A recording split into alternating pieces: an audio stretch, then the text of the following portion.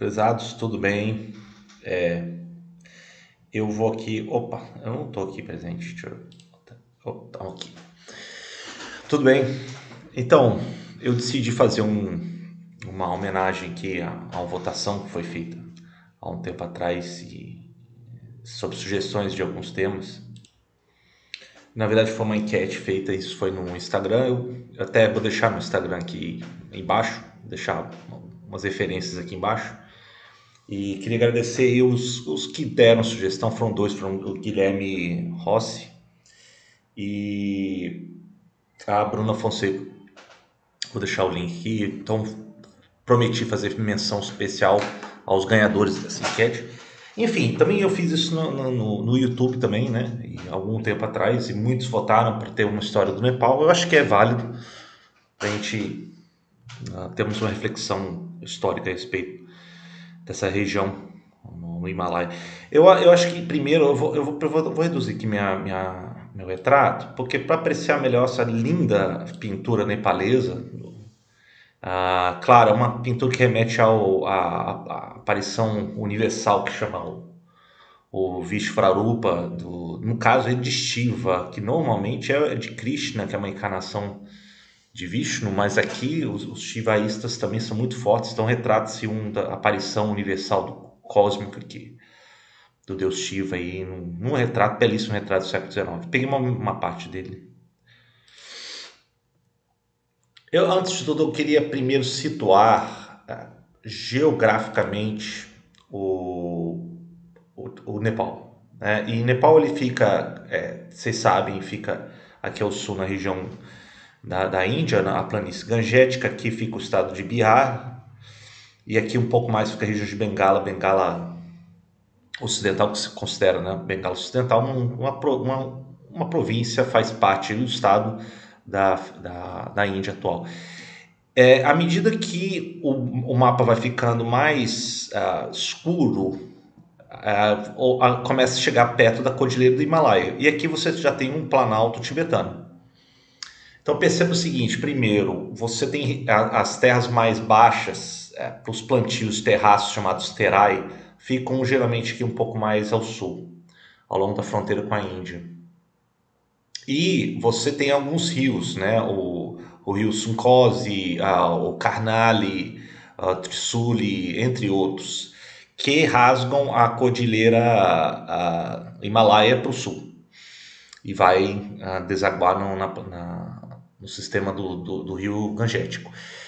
Uma possibilidade de comunicação das terras Terai do sul nepalês para o Planalto tibetano, que é onde você tinha um vivo comércio, é essa região que passa pelo Vale do Katmandu. Né? Então são cidades históricas que depois vão ah, despontar ao longo da história ah, do Tibete. E passando aqui mais ao norte, é, perto do, de Kodari, você chega a, na, no Planalto Tibetano. E, e, esse comércio era muito lucrativo, tinha muitos produtos como a lã, uh, que vinha aqui da região da, da, da, do Planalto Tibetano e chegava-se na região Bihar, Bengala, na, na, na, Índia. E também o contato que os, a região de Bihar e Bengala tinha com essa, essa região do Vale Kathmandu. Né? Então é interessante a gente levar isso em consideração primeiro, né? Como é que você tem aí geograficamente situado a, o Nepal. Agora, quais são as primeiras referências históricas que temos? Né? Você tem, na verdade, é, a, já várias versões, achados arqueológicos que remetem à presença de comunidades antes de Cristo. Agora, em termos de, de referências históricas, você tem já algumas versões ah, de, de escritas lendas uh, de, de brahmanes, de uh, budistas dessa região, né? E é interessante porque sempre vai haver um, uma síntese entre essas narrativas uh, hindus e o de budistas. Agora, o, a, a, principal referência clássica, sem dúvida, vai apontar a região do do Himalaia ali já nas proximidades com nas terras Terai com Bia, que vai ser o, o, local de nascimento de Gautama, né? o príncipe Gautama, o Buda, 2.500 anos atrás. E isso é muito relatado no, no, no, na, nos registros budistas.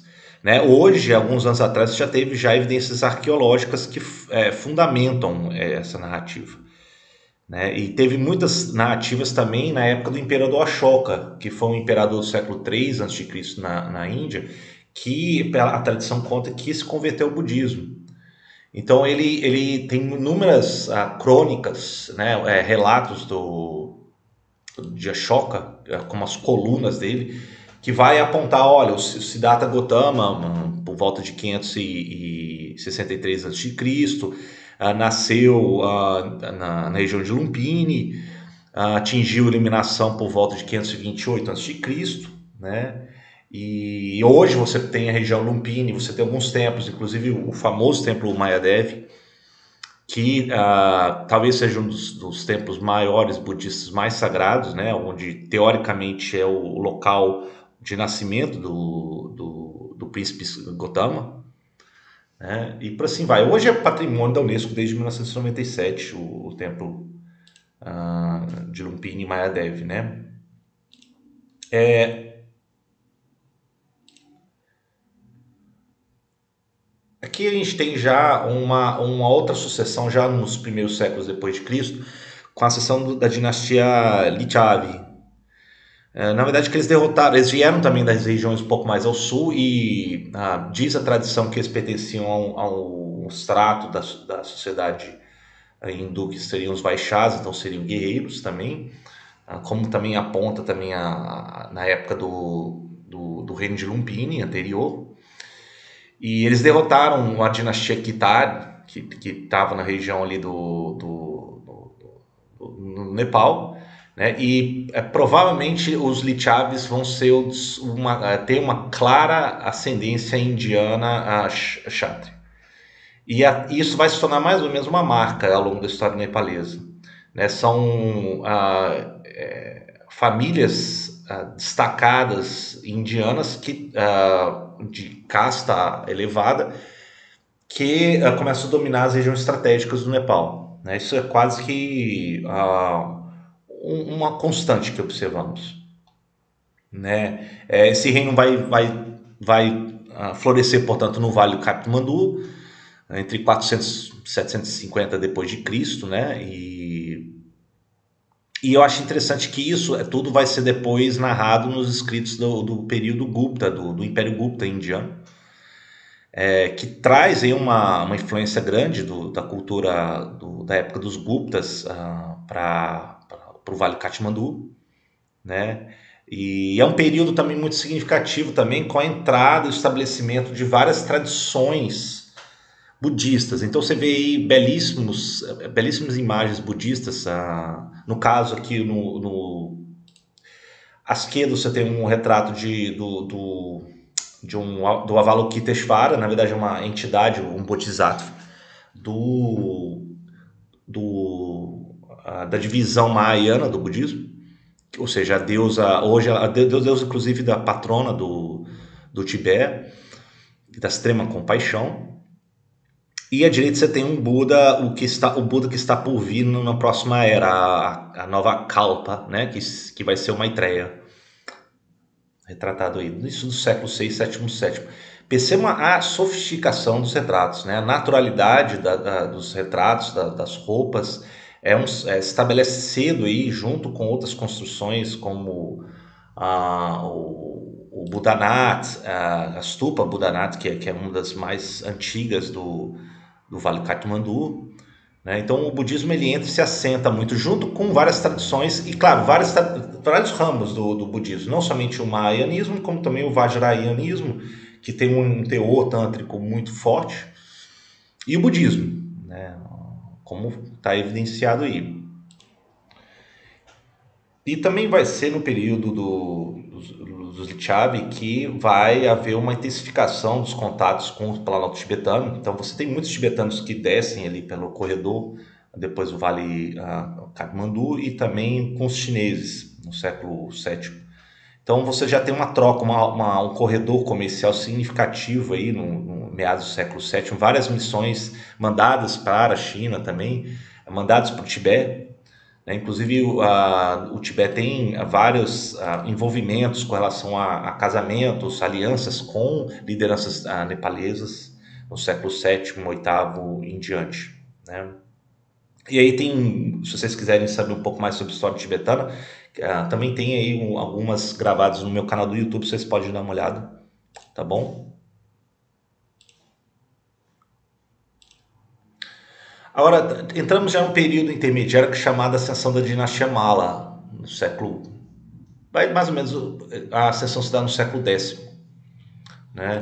E a, a dinastia a, a Mala, ela, ela vai ser marcada primeiro por um, um, uma série de governantes que vai depois, principalmente na, durante o reinado do Jayastiti, que está aí uh, retratado, final do século XIV, ele vai organizar um sistema uh, de código jurídico social bastante influenciado pelo, pelo código hindu.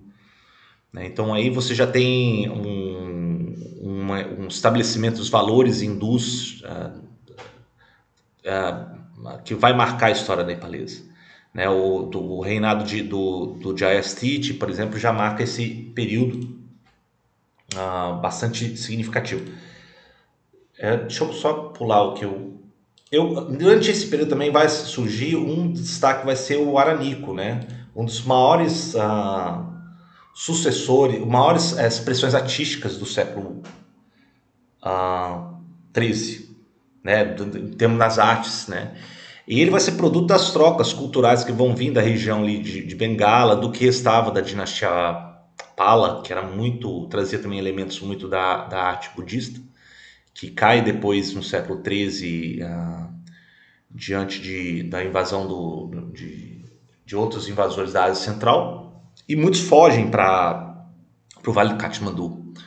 É, inclusive, muitos também vão começar a elaborar uma, uma escola de arte que é muito interessante, que vai pertencer muito também aos artesãos neuares que a gente vai ver aí. Mas o Anico, o Aranico aí, no, no caso, ele vai ser um dos maiores gênios artísticos uh, pertencentes a essa tradição nepalesa. Ele, inclusive, ele vai ser, do Tibete, ele vai ser enviado depois para trabalhar na corte do imperador Kublai Khan, da dinastia Yuan, no século XIII. Né? E ele traz a tradição himalaia para a corte chinesa.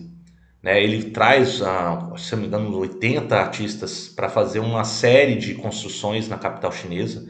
Né? E depois ele vai ah, renunciar a, sua condição até de, de monge e, e, etc. Eu só tenho aqui, eu não sei se eu trouxe aqui, na, ah tá, tá aqui, porque tem um, um, em Pequim hoje, que era capital na época dado Império Chinês, dos Yuans, é a da, da Goa Branco, né? Que hoje, então é uma, considerada uma das obras-primas do de Aranico do século XIII.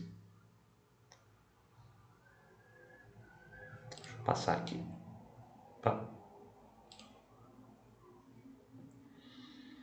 Porque você tem já no, no reinado do rei Yaksha, Yakshamala, eh, também vai ser um, um dos depois sucessores de Stiti, que vai, ser, vai reinar por volta de 1429 até 1482, então uma, uma boa parte bastante longevo aí de, do século XV.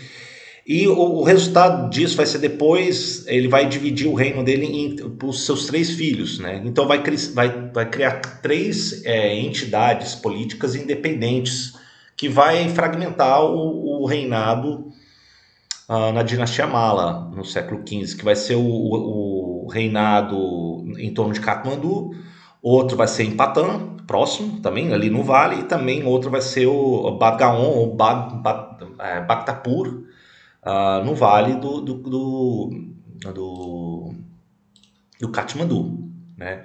Então isso tudo eu acho que marca já um período já de fragmentação uh, do, do, do reino nepalês.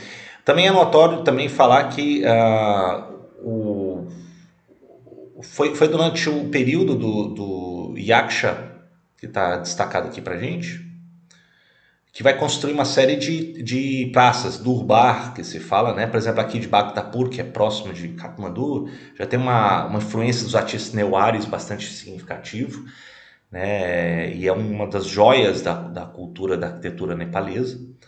É durante o seu período também que vai ter a construção do templo Shivaísta do Pashupati. Pashupati é um templo é, pré, próximos ali do, do rio Bagmati, em Kathmandu, que é uh, um dos maiores templos aí uh, dedicado a Shiva na região.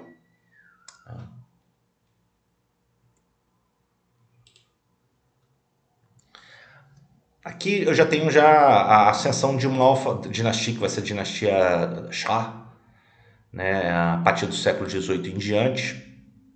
E aí tem um aqui a figura do fundador Narayan Shah, o Prithvi Narayan Shah, né?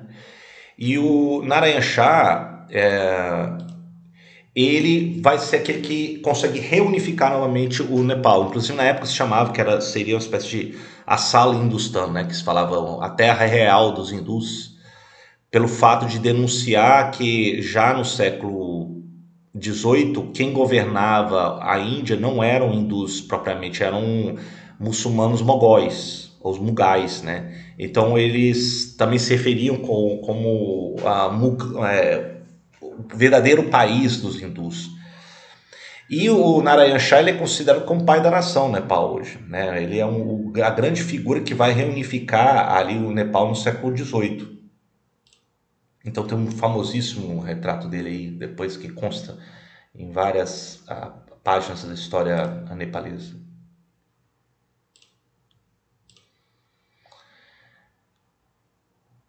Ah, também haverá, aí aqui no retrato tem o, o a esquerda tem um Amar Singh Thapa. Na verdade, depois de um determinado momento, a dinastia Shah ela vai ter uma série de influências com comandantes, lideranças uh, locais que começam a ganhar proeminência e influência na dinastia Shah. Então a dinastia Shah ela gradativamente vai começando a ficar cada vez mais simbólica e efetivamente passa o controle para algumas famílias muito poderosas no, no, no Nepal, nas terras nepalesas. Né?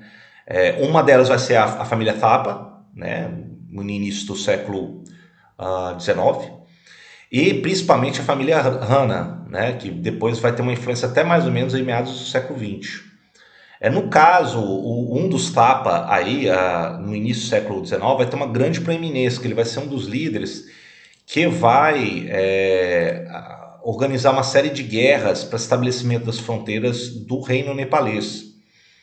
Né? Então, então, aqui em cima você tem uma série de retratos de uma guerra, uma série de ofensivas e combates que teve entre os britânicos vindos da Índia entre 1814 e 1816. Uh, ah, chegam inclusive a nenhuma conclusão essas batalhas. Então, na verdade, o reino nepalês ele não sofre nenhuma ocupação, administração colonial é, de mal expressão dos britânicos.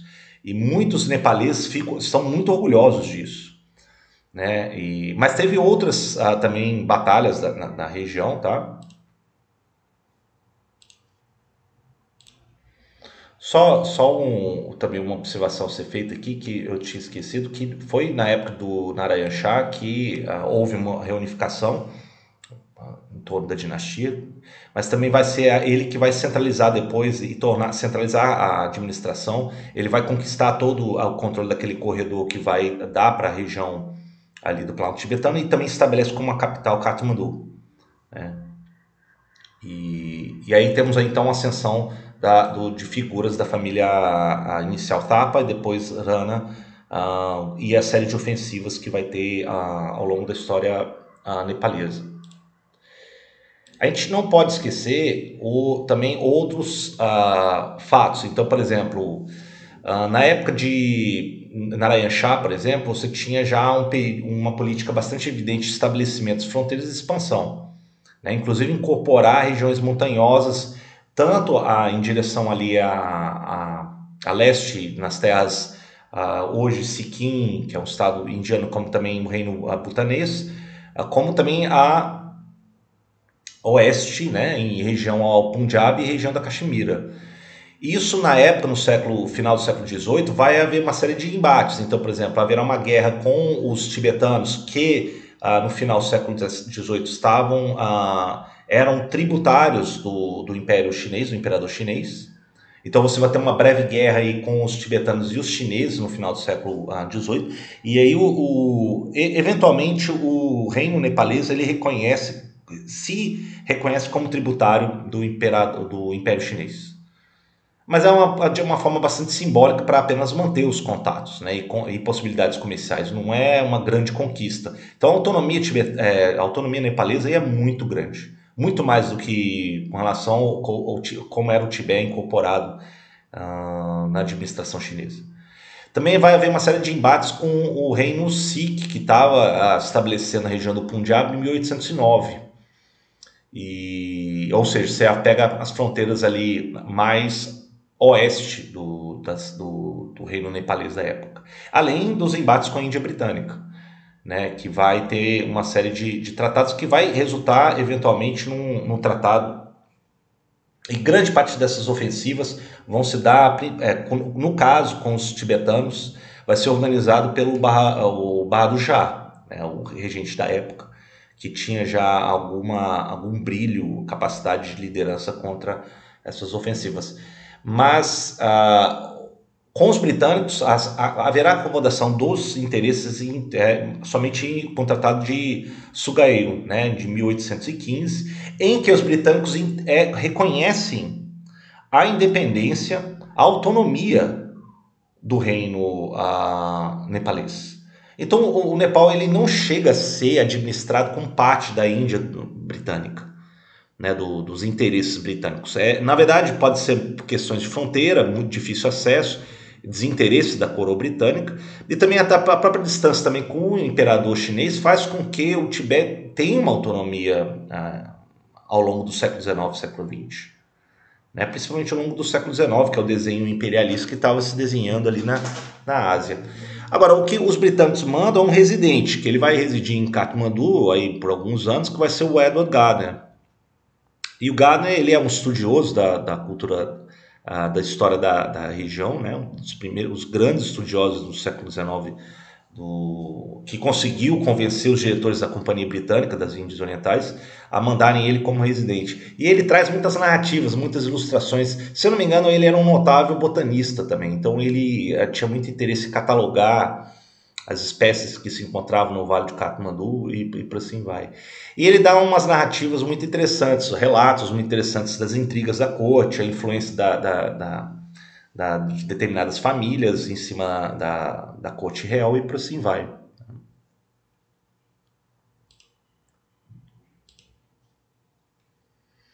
Bom, a gente já tem aqui já um período do, do crescente questionamento da estrutura monárquica e da influência da família Hanna. Né? Os britânicos, na verdade, eles ah, já em 1923 assinam um tratado de plena autonomia com o, o rei nepalês. Então, na verdade, é, podemos enxergar isso como, se é que podemos enxergar isso como uma espécie de reconhecimento da independência, da plena autonomia do Nepal em 1923, ao contrário do que vai estar em outras partes do Império Britânico.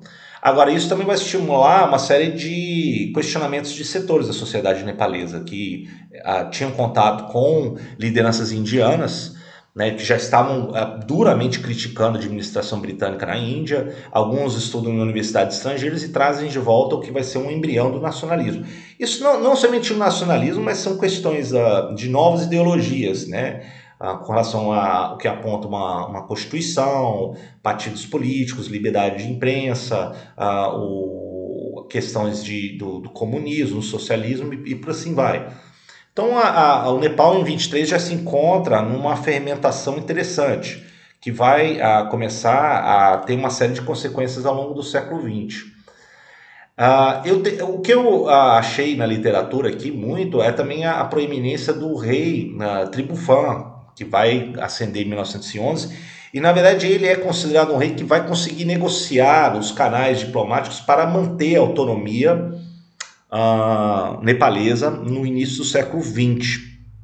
Agora, e ele, é ele é o grande responsável, inclusive, para afirmar definitivamente as boas relações com o, no, o, a nova Índia independente em 1950. Então, ele é um, ele é um regente importante da, da história nepalesa do século XX, Agora, ele também uh, não chega a implementar uma série de reformas que eram necessárias para uma maior democracia. Ele mantém ainda um controle monárquico bastante firme contra qualquer eh, tendência de oposição e de caminhar rumo a uma democracia como a Índia já tinha feito desde a sua independência em 1947. Né? Então, ao mesmo tempo que ele conseguiu manter a autonomia a, a, diante do jogo imperialista e do, do, de determinados interesses europeus, ao mesmo tempo ele também tem, mantém firme, de maneira bastante autárquica, a dominação, a estrutura monárquica nepalesa no início do século XX. Ah, é durante, durante o período de Tribufão, inclusive, deixa eu só voltar aqui. É durante o período de também que começa a surgir ah, alguns rebeldes que questionam a influência dos Ranas né, no, na, na, no poder nepalês. Aparecem, por exemplo, algumas forças revolucionárias de guerrilhas. Uma delas, talvez um dos maiores partidos que vão surgir, além de, de partidos comunistas, uh, vai ser o Partido do Congresso Nepalês, né, que vão ganhar uma, uma posição de destaque já no, no, período posterior do, do reinado de Tribufan.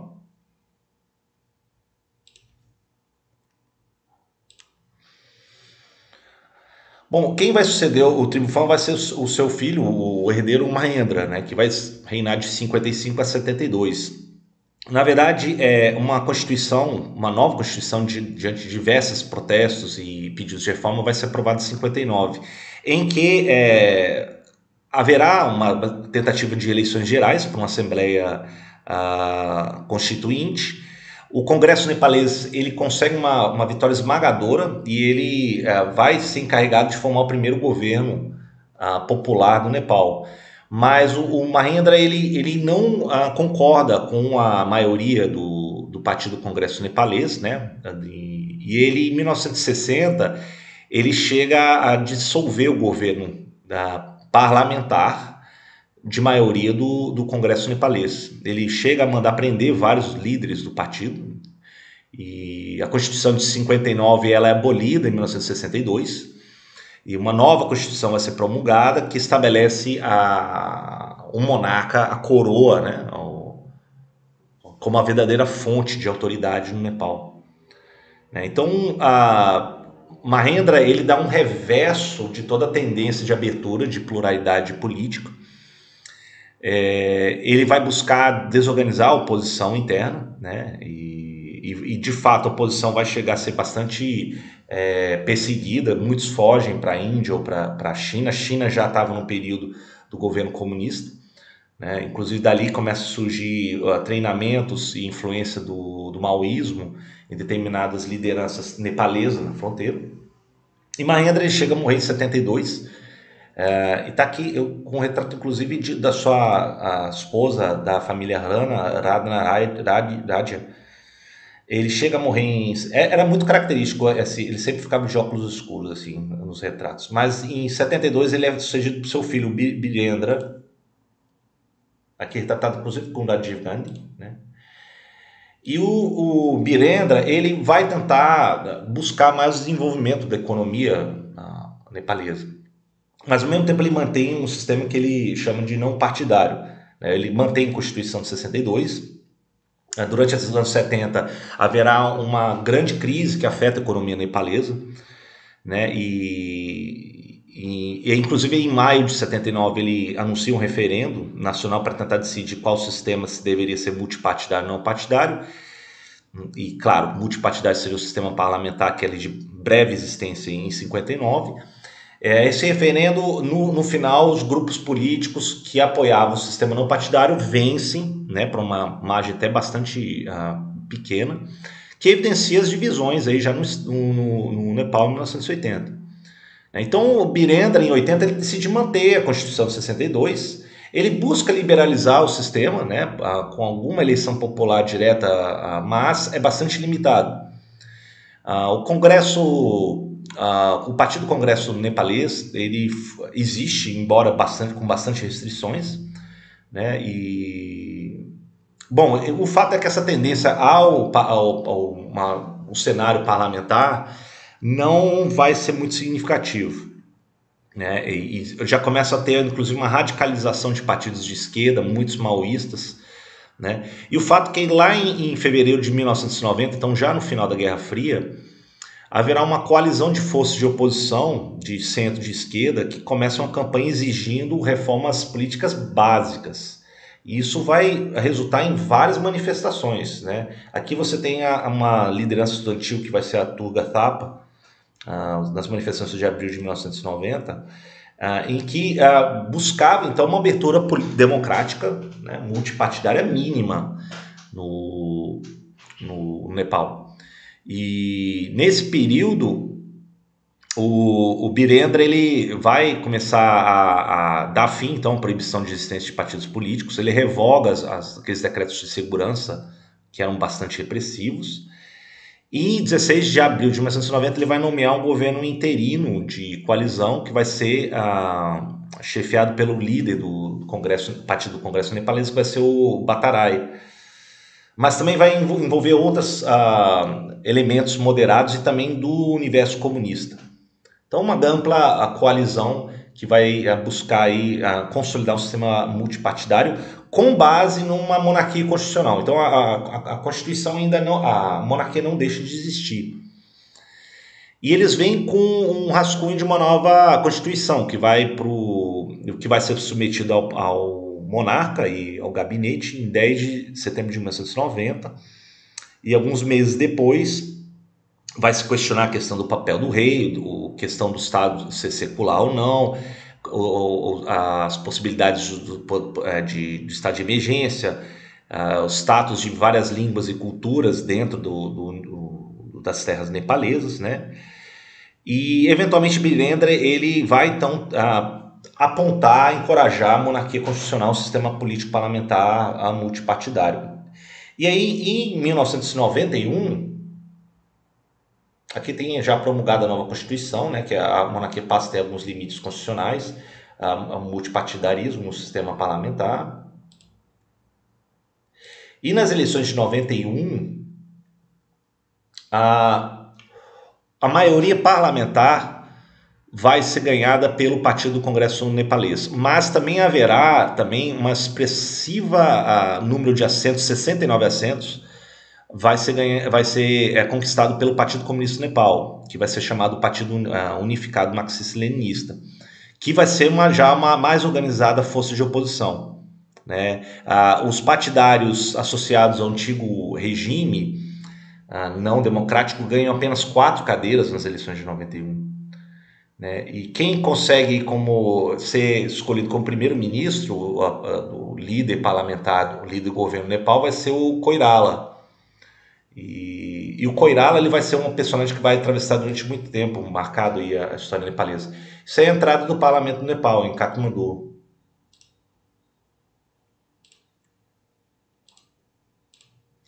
Bom, o, o, o, Nepal vai começar a ganhar grandes mudanças políticas a partir daí. Né? Vai ter, claro, uma série de, de problemas sociais e econômicos, uma economia estagnada nos anos 90 Vai ter uma série de movimentos étnicos, religiosos, regionais que buscam representatividade maior. Né? Alguns, inclusive, denunciam o suposto privilégio da, dos hindus em detrimento de outras minorias. Né? E, enfim, essas políticas, a política vai, vai refletir, refletir tudo isso. Agora, o que vai é, mais notório já na virada do século XXI vai ser uma tragédia. Né? Porque em, em 2001, o, o o herdeiro, que está aqui à esquerda do, do trono, que vai ser o de Pendra, ele num surto, ele, ele resolve num banquete, numa reunião familiar, ele resolve matar todo mundo. Deixa eu só tirar aqui minha.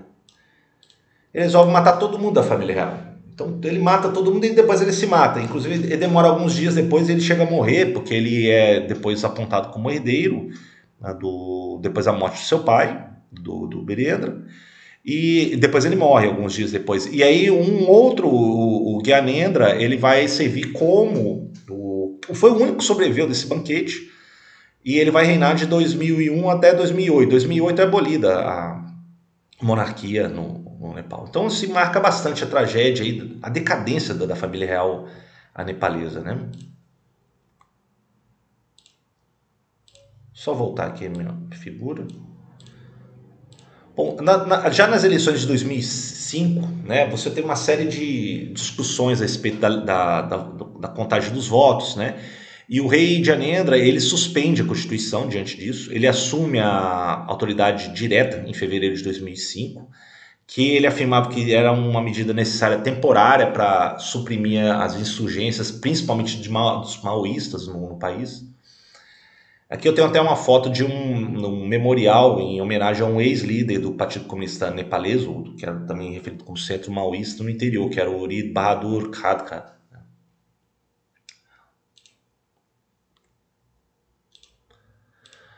Depois que o parlamento vai ser o parlamento vai ser instaurado já no ano seguinte, em abril de 2006, e Koirala novamente se torna pela quarta vez o primeiro-ministro em 2006.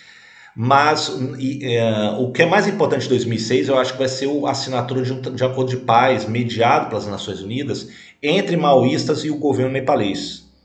Né? Ele, inclusive, nesse, nesse acordo, previa-se que teria ter uma representação uh, de maoístas no Conselho de Ministros do governo uh, nepalês. E aí você tem já praticamente o, o fim do, do, do, de guerrilhas maoístas no interior, né?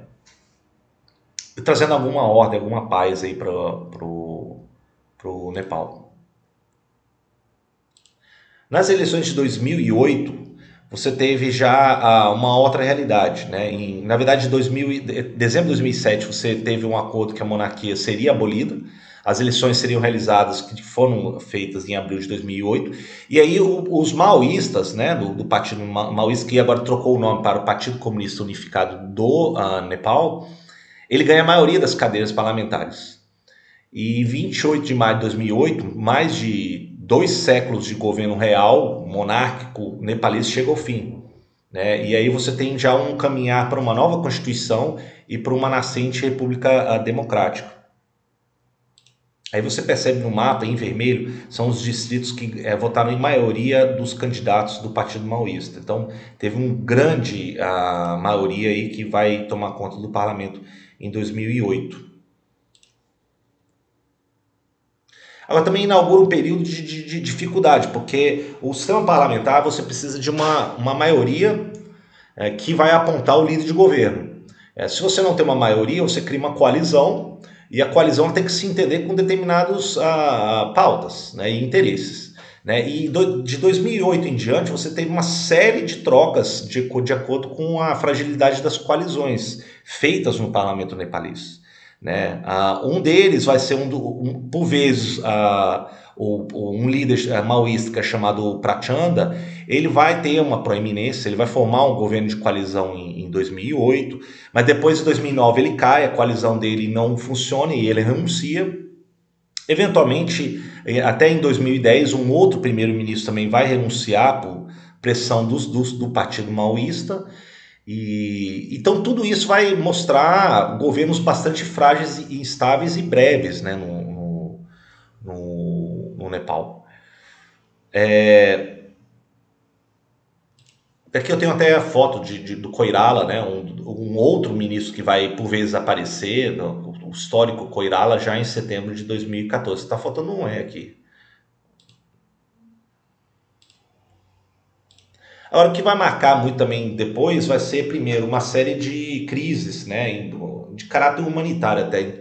É, no Koirala, em 2014, ele teve que, ah, ah, até dois meses no poder, ele teve que lidar com uma avalanche no Monte Everest, em abril, que vai matar ah, alguns Sherpas, né, aqueles povos que, uma série de povos que guiam as expedições ali em, em direção ao, ao Monte Everest, e aí ele interrompe, inclusive, a temporada de escalada das montanhas, né? E depois vai ter outros desastres no final do ano, enchentes, vai matar centenas uh, de, uh, no Vale do Katmandu. Depois na região ali de Annapurna, em outubro também vai haver uma tempestade de neve e por assim vai. Agora esses eventos não se comparam com a tragédia que vai vir em 2015, que vai ser um terremoto, uh, magnitude 7.8 a Richter, cerca de 80 quilômetros a noroeste de Kathmandu, que vai provocar uma destruição e morte generalizada, né? Estima-se que centenas de pessoas morreram, milhares feridos, né? teve destroços de templos antigos, né, no, em Katmandu, aí no caso em Durbar, né, a Praça Durbar em Katmandu, diante do Palácio de Gadi Baidak, né, com a fachada neoclássica uh, típica. Mas isso tudo vai ter uma série de danos de tesouros do patrimônio mundial da, da Unesco, né, que tinham sido declarados de 1979, ou destruídas ou severamente danificadas. Né? Então, depois vai ter inúmeros tremores secundários, né? depois do, desse terremoto inicial, da magnitude 7,3 em maio, perto da, já na fronteira do Tibete e do Everest. E tudo isso vai começar a provocar uma série de crises né, em 2015 que vai impulsionar, junto com outros protestos, pedidos de uma nova Constituição. Em setembro de 2015, o parlamento nepalês ele finalmente aprova uma nova Constituição, uh, que chega a ser aprovada pelo parlamento e entra em vigor em 20 de setembro de 2015, estabelecendo de vez o Nepal como uma república secular federal. Né? Haverá protestos de várias partes, de grupos minoritários, né? na região sul, por exemplo, que alegavam que não, os seus interesses não estavam sendo representados. É, em outubro de 2015, o parlamento vai eleger o Oli como primeiro-ministro, que tinha, vai suceder o Koirala. E, e o Oli, já em, em, dois, em, julho de 2016, ele, ele renuncia, né, com o colapso da sua coalizão. O Prachanda, aquele, ex, aquele líder maoísta, substitui e fecha um acordo com o Partido do Congresso Nepalês. E em maio de 2017, Prachanda vai renunciar, um outro governo vai começar a aparecer e por assim vai. Ou seja, a partir de 2017 em diante, o Nepal entra num período de, claro, sustentação parlamentar, mas uma série de fragilidades da coalizão, das coalizões que tem que ganhar maioria parlamentar.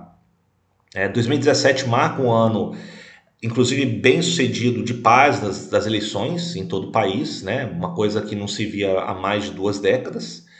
É, é, foi realizado no, no, final de 2017, né? É, o, o, a coalizão a comunista apoiada pelo Oli Prachanda ganha a maioria, né? E, e, eventualmente depois vai ter uma série de problemas novamente, desacordos entre o Oli e Prachanda e por assim vai. Eu só gostaria de encerrar aqui. Uh, deixa eu só diminuir aqui, porque eu tô. Com o fato de que o Nepal hoje ele se constitui como uma, uma república, tá? Então não tem mais um, um monarca, nem como um chefe de estado e nada. Foi, isso foi finalizado em 2008. Uh, ah, você tem divisões étnicas minoritárias, mas você tem um, um papel bastante relevante de, do, do, do, partido do Congresso nepalês, que é mais de centro, e também muito do Partido Maoísta, que ah, nas últimas eleições sempre tem conquistado significativo número de assentos parlamentares. Né? O, o, maoísmo aqui não se deve ser confundido com nenhuma um pré-julgamento de radicalismo. Aqui você tem uma caminhada bastante democrática do Partido Maoísta. Eles se inseriram no, no, no cenário político nepalês, assim como o Partido do Congresso nepalês. Essa nova Constituição ela é considerada uma das mais bem desenhadas dos últimos tempos. Ela é bem liberal, ela reconhece a diversidade do, do, da população nepalesa, Agora, nos últimos tempos, agora, no que vivemos aqui em 2020 2021, os efeitos da, da pandemia do Covid-19 está atingindo em duro o Nepal. Né? Não tem uma estrutura nem parecida, nem próxima com a da Índia, e certamente deve ter vindo já algumas ah, variantes do vírus atingir a população nepalesa que precisa de doações por exemplo, de instalações hospitalares, de, é, de cilindros de oxigênio e, e por assim vai. Então a, situação humanitária é bastante lamentável do Nepal, mas eu acho que ah, o nosso propósito aqui era muito mais enxergar a riqueza da diversidade, da riqueza cultural histórica ah, do Nepal. É, eu vou é, dar algumas dicas aqui apenas de livros, já estamos 45 minutos aqui ah, para vocês, ah, só caso vocês tenham algum interesse aí em aprofundar leituras maiores da história nepalesa, o que não são muitos. Por exemplo, aqui um dos livros que eu iria indicar é um, um que já tem dois, de 2015, que vem da Cambridge uh, University Press, que vai ser a History of Nepal, do John Welton, que é muito interessante, eu acho que é um bom único volume introdutório para a história do Nepal. Né?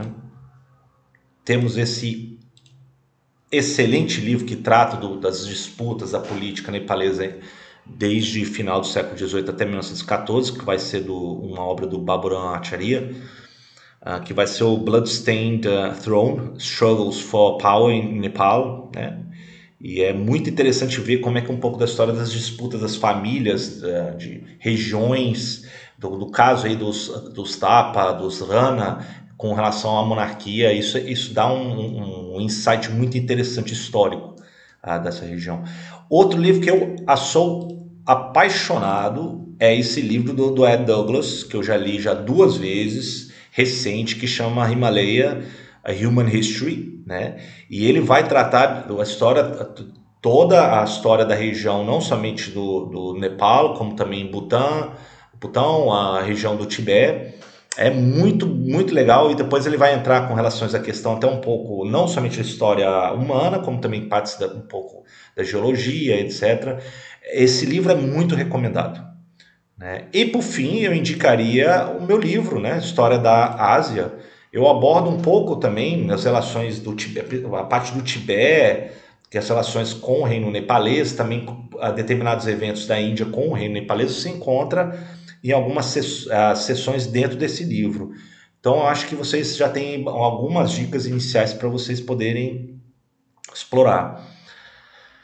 Tá bom? Então, eu vou encerrar por aqui. Uh, agradeço aí a, a, paciência, o carinho de vocês. É, novamente, isso aqui foi produto de uma enquete e uh, uh, nos próximos próximas semanas, próximos dias, eu vou tentar, vou ficar um pouco ocupado mas eu vou depois pensar em outros temas, outros projetos para continuar com a lealdade e o carinho de vocês no canal, seja aí no, no, no que eu vou postar agora no, no, Instagram, no meu perfil, seja também no meu canal do YouTube que eu coloco na íntegra todas as minhas aulas. Tá bom? Até a próxima vez, gente. Tchau.